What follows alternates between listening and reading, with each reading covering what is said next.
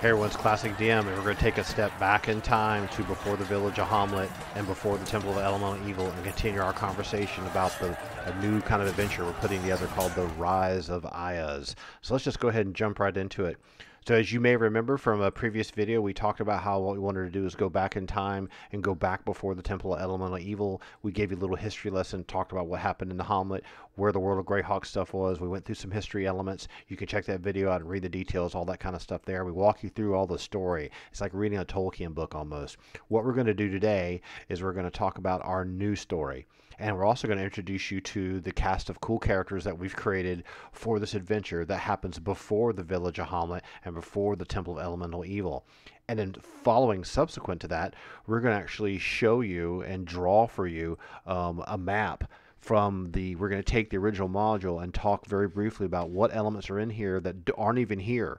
You know there's some elements in the village of Hommlet that aren't even built until after that massive battle of Emerald Meadows actually happens. So we're going to talk about that because we need to change the landscape. Some of these things aren't here. So what we're going to do after that in another episode let's just get this bad boy out of the way.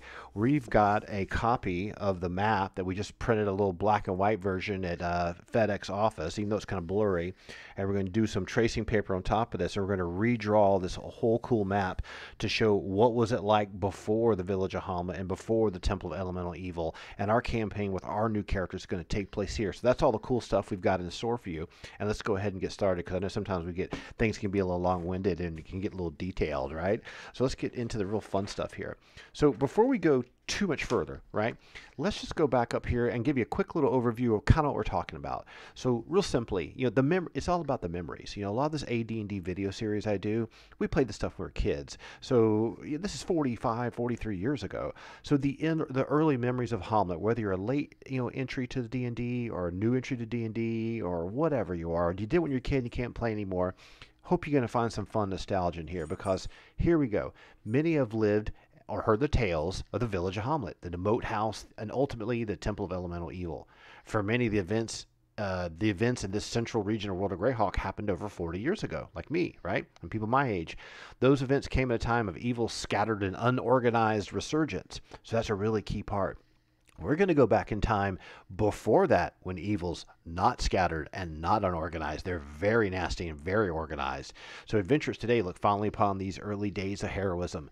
The stories of how a small village with factions of the old religion and its druidic core and the followers of St. Cuthbert was the base of operation for jaunts into the ruins left by the great battles of armies of the past. Many faced the local evil and went on to clear the extensive dungeons of and elemental nodes of the Temple Elemental Evil with its lethality still very much intact. So in the beginning, if you ever go back and play these original old modules and you're playing through the Moat House, or you're playing ultimately in through the Temple Elemental Evil, or you're going to the Church of St. Cuthbert, or going to the, the Guard Tower, all these different kinds of places you can go check out, and all these cool things you can go do. You know, the end of the Welcome Wench is this awesome base of operations, all these different places and all these things you get to do. Well, some of those things weren't there originally. Some of those things weren't there at all. So what actually happened? So before all that, you had this battle, and I mentioned this in the last video. I kind of want to give you just a quick little one-page breakdown. So the memories came after Evil's power. Years before most had arrived and dealt the final blows to Zuggtmoy and even Iuz, there was horror and pestilence. So you have to kind of think like Eastern Plaguelands or Western Plaguelands or World of Warcraft or something in your memory like Mordor type of thing going on, right? The combined forces of men, elves, dwarves, the region fought and won the famous Battle of Emerald Meadows under the leadership of Prince Thrommel. And he's a key character. The Grand Marshal of Furyondy, which you see is a nation above the little you know battle marker we have on our map here, the big red splat, right, of blood. The Provost of Veluna, which is the you know neighboring kingdom that he's partnered up with. Under his command, the combined forces of men, elves, dwarves, and of the region defeated the armies of evil along the banks of Velverdyva River and subsequently drove the horde back and sealed the Temple of Elemental Evil. So if you're Greyhawk and you're geeking out at this point, that's awesome. Love to hear you share your comments like, oh, me and my friends, we went and played this once and we changed it around and we did this way. So some three years later, uh, this you know Prince Thrommel was kidnapped and they put his body in a black iron coffin deep in the one of the levels of the Temple Elemental as a show of their unwavering revenge. Right, a little literary writing there. Take it out. So what we're going to do is this. How about before that? How about before someone comes to the temple elemental evil and it's all sealed up and only the stuff's half occupied and sort of a scattered hodgepodge of some sort of okay evil? What happens if you take you know, an experienced D&D player like me, uh, who isn't the best in the world, but experienced, right? And we create what it was like to be there before T1 what was it like to be there before the Temple Element Evil? We take these little tidbits of history that we've got in the world of Greyhawk, and we say to ourselves, you know, before the Battle of Emerald Meadows, swarms of creatures worshipped and worked their wickedness as servants of the Temple Elemental Evil and made a Hommlet and the lands for leagues around a mockery of freedom and beauty which is kind of verbatim words taken right out of the Village of Hommlet page one overview. You read that player background, that's the kind of selling point. This box text here is what those players need to hear about. Because when you play the Village of Hommlet, they have to kind of tell you like what France was like when Hitler was here. You know, is that kind of a vibe. So that's not really happening.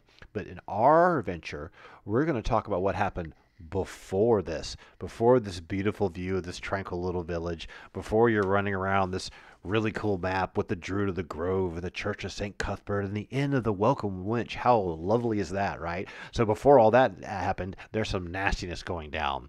So this is the story of six heroes from different backgrounds, lives, and loyalties that came together and faced that evil at the height of its power. Their actions brought the forces of Veluna, Furyondy, Celene, the Kron Hills, the Gnarley Forest, and even the reclusive people from the highest mountains of the Lortmils together changed the course of history, but it wasn't easy. So that's our challenge. We're going to create and play this adventure with a cast of characters that we rolled up last weekend. Let's introduce you to them right off the bat. So right off the bat, I'm going to leave the map open here in the background so you can see what this looks like. Right off the bat, we're going to have have a dwarf fighter. So what we did is we did this massive matrix of ability scores. We did this. We said we want six characters. We'll take six columns and six rows, and we'll do 4d6 and drop the lowest one. And we had some bad ability scores. As you can see, his charisma is seven. And we said to ourselves, okay, with those wacky ability scores, how can we create kind of a super group, even though they're level one? But let's make the group not totally perfect. It's not three clerics and three fighters. Let's put some gimp in there, and let's put some characters that don't have the best abilities in the world. Let's put some outlandish personalities in there, like you would see in Neverwinter Nights or Baldur's Gate or Icewind Dale some of the computer games we played over the years. So, you know, the first character we created is Orsta Ulvikson, you know, kind of a Norwegian kind of a vibe, and he's a dwarf fighter. He's from the Lortmils Mountains. So you can see in the backdrop here to the left, this is this massive, deep, orange, towering mountain range right to the west of the Kron Hills. So if you remember in the previous uh, video, the Kron Hills, as they were all filled with like 20,000 gnomes, right? So as the Kron Hills kind of butt up against the Lortmil Mountains, and you can even see the little dotted trail that connects from Celene to the other side where the Grand March is. Somewhere through here, it's always alluded to this dwarves living here. Well, Orsta comes from there. So his he's a level one guy. He's got his splint mail and his small shield. He's just going to use a little dwarven axe. Nothing awesome. And the only thing we're really doing really differently, and for our rules, we have a couple rules that we change, and there's another video that explains my house rules. But just to let you know right off the bat, what we do is we give all our level one characters max health, meaning that if they're a D4 like a monk, they're going to start off with four hit points. If they're a fighter, they're going to start off with 10. So in this case, you can see with his Constitution of 18, he gets those extra four hit points for a total of 15. And there's another video that really breaks down my highest rules. They're not too offensive for the rules lawyer, but there's some of them are a little bit more streamlined. Uh, like we changed the melee round from 60 seconds down to 6 seconds, so therefore we changed the movement rate. And we'll do that later. Let's get on with talking about our characters. So when in our story, what we want to have is this strong, you know, powerful, confident, not the not the best leader in the world, right? Just just take a look at his ability scores. And, and, and intellect is ten, intelligence is ten, you know, and the wisdom is seven. So you're talking about a guy with average intelligence. He can do math. He may not really know how to invest his money. Maybe he spends too much money on the weekend. He's broke on Tuesday, but he's got 17 dexterity. This guy can fight. Okay. I would say that Conor McGregor has 18 dexterity. This guy can fight. Okay, he's strong. He's really strong strong as Chael Sonnen, right? He can fight, and he's got great dexterity. His constitution is 18. This guy has heart. He can. I mean, I'm just going to use UFC terms here, right? This guy has incredible heart. I mean, you would be. He would not bring this guy down. He's going to be strong, and because he's a dwarf, dwarfs get all kinds of bonuses to sever their saving throws, like rod, staff, and wand, and spells. See how his number's already down to 11 and 12? That's by the book, right out of the DM's guide and the player's handbook, right? And if you've never read those books and you don't know anything that we're talking about, look at the links in the description, and you can get copies of these PDFs. They're like nine dollars each. The original version of D and D is so awesome to work with. So. Orsta Ulvikson. So he's our guy from the Lortmils Mountains. Now we'll do another episode that talks about how these characters meet each other. Let's just go to our next character right off the bat. Now another character I thought would be really interesting is a, a real diehard kind of Saint Cuthbert slash uh, proper religious female cleric who's tough, who fights, who isn't running around wearing a robe and casting heal. She isn't the mumsy type of girl, but she's she's young and she's wearing plate mail the best she can. In this situation, she's wearing splint mail and has a kite shield, you know, and she doesn't have the best statistics in the whole world. She's only a 13 wisdom, but she comes from Veluna City. Maybe she's well connected, but her goal in life is to prove herself that she can fight. She's tall, you know, she's not just sh- some short, paltry female, but she's not the strongest. 11 strength, 11 intelligence, 13 wisdom, 10 dexterity, 9 constitution, but a lot of charisma.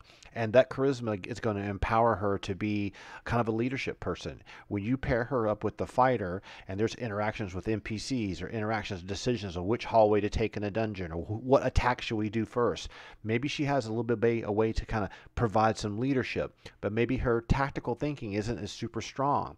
If you blend, um, if you blend Orsta, you know, with his high dexterity, his high constitution, his low intellect, and his low intelligence, his low wisdom, and you bend it with her, um, Emma Lamore Dreva is what we call her, kind of an Irish name. We just call her Emma for short. You know, she's not the smartest. Those two could make some bad decisions together. So she's got her holy water symbol. You know, she's got vials of holy water, prayer book, and some beads. She's very basic. She's not based on Catholicism or anything, but she's just a good old fashioned cleric. There's nothing heroic about her at all. And like I mentioned before, Clerics start with a 1d8 hit die. She has no bonus from her constitution, so we'll just start her off at max hit points. We want to have characters that are survivable. They're not going to be facing enemies with max hit points. The enemies are going to use random hit points, just like in the modules in the old days. This is one of the only major changes that we're doing. They're not starting off with a bunch of magic items. They're not powerful. We're going to have to play to their wits. So we had this really great character, this strong, uh, charismatic female that has a religious connection. You know, her almost paladin-esque type of vibe and what she does as someone coming from Veluna, the city of Veluna, which is a very noble kingdom you see in the upper left-hand. Ca- so when things start going wrong and she's sent on a mission, she's the person that's sent on the mission to Hommlet, and perhaps along the way she's bumping into Orsta, and the two of them hook up together and they travel together because maybe there's something happened with Orsta as well, and he's headed the same way. So that's our first two characters. Now we got six. So we got four more to go through.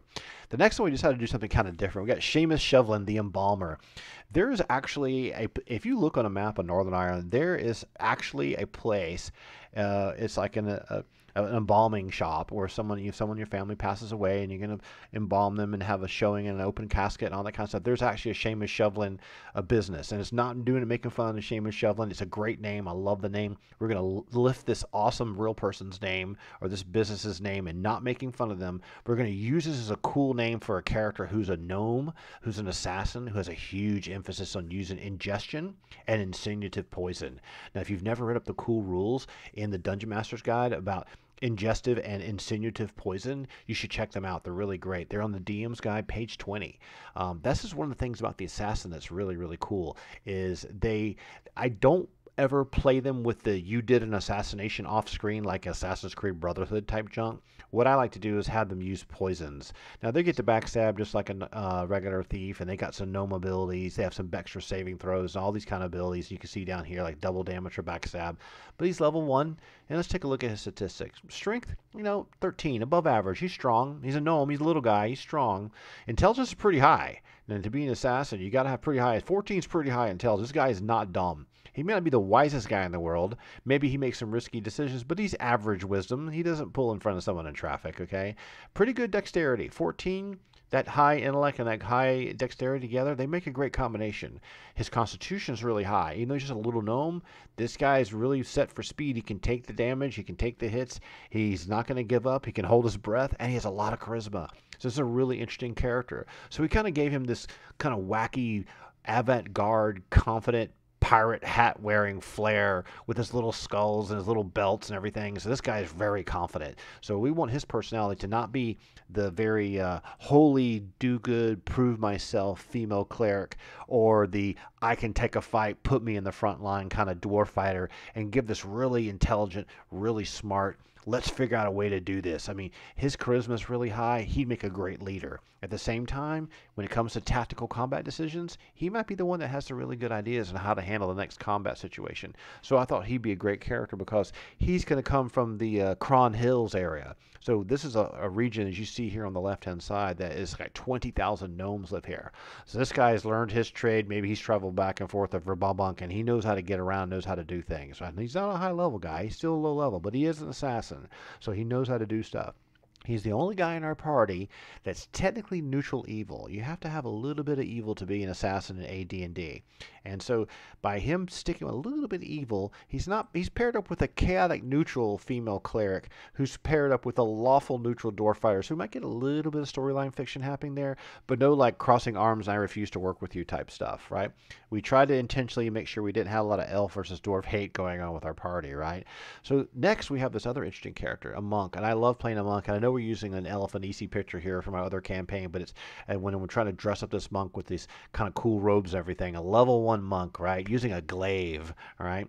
And so for her to be a monk, you got to have these great statistics, but she's got some really bad ones too. So, you know, her name is Ria Indir, uh, and so Ria is another kind of Irish word. We, it was originally Mean Ria, which is a town, but we tried to change it just to Ria.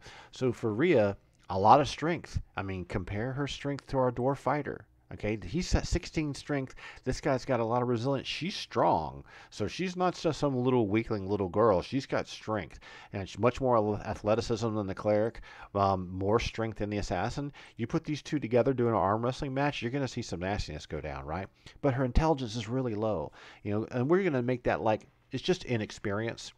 She doesn't have the experience. She hasn't done anything yet. She's maybe young, um, but she's got a lot of wisdom. So she has great judgment. You know, 16 wisdom is fantastic. She has higher wisdom than our cleric. And there's a lot of requirements for monks to have certain types of statistics. And her dexterity is 18. So you compare her to Sheamus. I mean, these two, and even to our dwarf fighter, they have fantastic ability scores for dexterity, constitution, and uh, and and strength. So for her, I mean, when it comes to fighting and doing damage and being mobile with her faster movement rate and having the wisdom, the high wisdom, she's going to be a very good tactical person. But her intelligence, we're going to have to be careful with how we play her. We're going to have to make sure that she doesn't she may have a lot of wisdom but she doesn't have the experience. And without having the experience there could be some doubt. Like i said what do you think we should do? It's like um well let's just be really careful but no real decision about where to go. So that lack of experience is also going to be a lack of confidence. So for ria we're going to try to make sure she has a lack of confidence. And also because she has such low charisma she doesn't have a lot of self-esteem. So we're going to try to make her kind of this uh, i have this great raw talent. I can fight but I'm not a real good public speaker. Uh, I'm really wise when it comes to fighting. I'm just not really wise to doing things in the real world. So she's the last person you want to have go order a round of beers for everyone, if you know what I mean. She'd end up getting in trouble at the bar. Her charisma is really low. So, you know, in these situations, we've got this high charisma assassin. Our gnome is high charisma, but he's a short guy. We've got a high charisma um, cleric. Our our uh, our dwarf and our monk, they they may work together pretty well. These are like UFC fighters. So using a glaive or her open hand attacks, when her ability to stun if she rolls five or higher, it's going to make a big difference. Now, when you're playing a monk, you got to be careful. You're not a frontline fighter. So she's going to kind of play a little bit like Elefanisi. We're going to try to imbue some RPG elements into her, make sure she acts and tactically plays the way she should by her statistics. We're not going to cheat uh, her. We're going to try to keep her inexperienced, lacking self confidence, but great at fighting. Next, we've got a druid, a human druid, Erigol Fahir. So Erigol, you know, we had we're looking through the the, the, the ability scores we rolled up. You're like, we're gonna have to have a druid in here. We're just gonna have to have it. And we decided to have someone coming from Welkwood because if you remember our storyline from our previous video, um, having someone come from Welkwood is this beautiful redwood forest. They were hugely involved in the Great Battle, so we decided to pick all our characters. We picked them all as kind of like representatives or a sampling from all the different regions that end up being like this coalition that defeated the Temple of Elemental Evil. So Erigol, you know, 11 strength, that's above average. 13 intelligence, that's not too bad. This guy's not dumb. 14 wisdom, very wise. 12 dexterity, slightly above average. Constitution of 10, maybe not the hardiest guy, but that's average. You know, this this guy can survive in the wilderness because of his druid abilities, his wisdom and his druidic abilities. He's not going to sit out in the cold and shiver and freeze to death. He'll be intelligent, know how to take care of himself, so he doesn't have to worry with that, right? And a lot of charisma. So this is a druid person who's going to be able to interact with their characters, interact with NPCs, interact with people from the old religion that you're going to encounter from Hommlet, and maybe even say Cuthbert people. So the ability to navigate the religious and the worldly wise and to travel across landscapes and understanding how what works in the forest and what works in the Kron Hills, that's going to be an interesting dynamic. So now, this druid, we're going to make him a loner. So we may even make a situation where him and Ria previously worked together doing something. So we may have a situation that even though he was in Welkwood, we may have Ria in, in Celene and maybe she meets up with them. We'll see. We haven't written the story yet. I am going to write up a, a story that tells you how all the characters get together. So when we actually start the gameplay in the map, they're entering the Hommlet map 40 years in the past and they're already kind of working together. So let's go on to our next character. So besides our human druid, the very last one is we've got this elf wizard. We've named her Lisfannon Muirin another Irish name. When we rolled those ability scores, I'm sorry to say that we got a four in there. And who else needs the four but the overconfident elf female? and we actually rolled random die. A 50 or higher rolled us the female. So we didn't just all pick girls, right? We just it was just a random die. 50% chance to be a guy, 50% chance to be a female. No uh, no sexism going on on our table, right? So really low strength, can't carry anything, but really high intelligence. Wisdom is okay right? Which is kind of like the ability to make judgment calls. Dexterity is pretty darn good and really high charisma. So once again, we're going to have to play to her strengths. So we've decided that she's someone that really scholarly, has a lot of background knowledge, you know, understands the region, um, does sketches, has a leather-bound journal, writes. Um, you know, she has a wine bottle and a silver cup with her, so she's very um, cultured. She comes from Celene, so Enstad, which you can see on the map in the background, is a Celene capital. So we're going to have her come from a very refined area that's all about being intelligent, and being elegant, and being smart. And as a magic user, because she's a level one magic user, that fits perfect with her. Now we all know when you're a level one magic user, four hit points doesn't take you very far up against two kobolds, so she's going to have to be careful. So when we get into combat, let's do a quick summary here of what we have. When we get into combat, we've got a great frontline fighter with good armor class, right? I mean, he's got armor class of zero. We've got a good frontline cleric with armor class of three.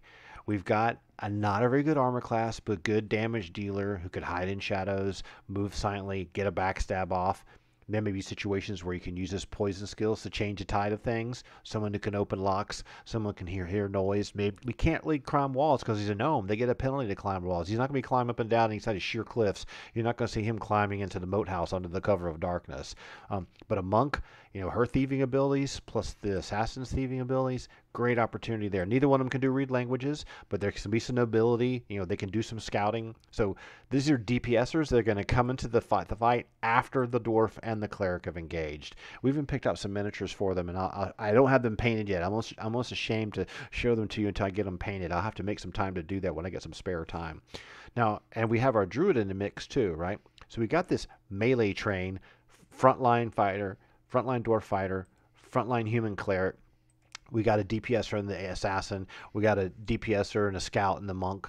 Now we have a druid. You know, and the druid is some debuff going. He's going to speak with animals. That's going to tremendously help us when we're trying to navigate what's going on in the world. Um, a real high wisdom to help make tactical decisions. Ability to do things in the environment outside is really great. Faerie Fire is going to give you a plus two to hit because if you notice, the roll to hit for the warrior here, our, our fighter, is 20 at AC 1, right? It's not 20 at AC 0. The cleric actually has one of the best rolls to hit possible at this level. It's hurt to hit AC 0 is only 20. To hit AC 0 for the assassin is actually at AC 1, it's 20. At AC, it goes 20, 20, 20, and then it skips up higher. For the monk, hit AC 0, she's a 20, a natural 20. For everyone at level 1 is pretty much hitting AC 0 at 20. But the fighter actually has a worse chance to hit than the cleric. So that's going to be something, and and the monk. So I have to play that very very carefully. So by having the druid, he is going to be able. You know, his armor class isn't great. And it's only AC 8. This guy just wearing leather armor. We decided that he has a wooden shield, but he doesn't want to use it even. So I said, you know what? Let's make sure that our druid isn't thinking he's a frontline fighter.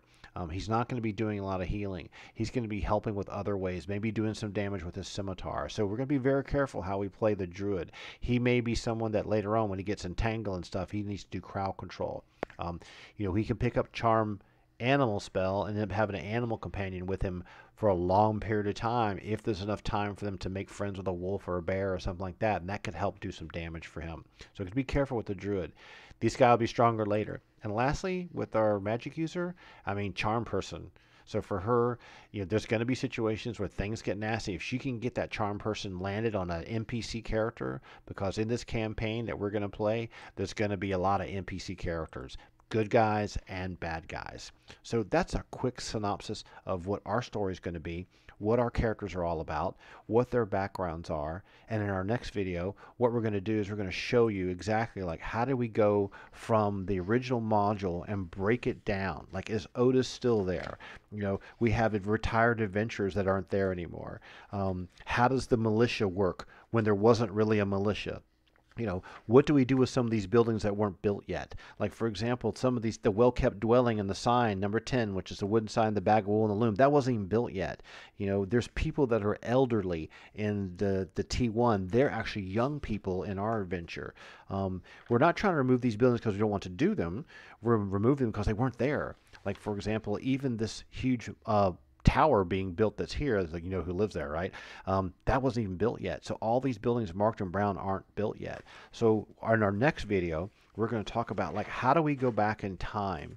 How do we do the map for this? We're going to take some tracing paper and we're going to overlay that tracing paper over our map in our next video. In fact, when we start the next video, we'll already have it taped down. And we're going to redraw the whole map and give you a sense of what the village of Hommlet is going to be because that's where we're going to start way back in time. And then we'll have a brand new map that we can show you guys. I'll give you PDF copies of for fun if you want to use it in your campaign. So that's going to be our next video. I hope you have fun meeting our ensemble cast of characters. I'm trying to keep these videos shorter and more digestible. And uh, yeah, we'll see what happens. It should be a lot of cool. I'm really excited about it. I think there's a lot of neat opportunities to do some fun, creative things. And if you never get to play D&D anymore, you can just hang out with us and, and do it with us, right? So let's see how it goes, and uh, we'll talk to you soon. Take care. We'll talk to you later.